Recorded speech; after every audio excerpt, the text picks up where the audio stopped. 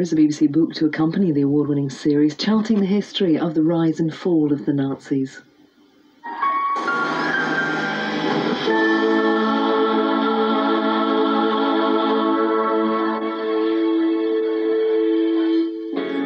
How do you get through that family wedding? I don't want to twist your arm or anything. No, it is not that. But you would be saving my life, honestly.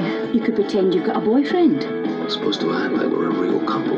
You're worried that's going to be difficult. So how did we meet? I want to get my story straight. But you can't pretend forever. I'm not really very qualified to be playing your boyfriend, am I? Just use your imagination. Glasgow Kiss, new drama for summer nights, continues Tuesday at 9.30 on BBC One.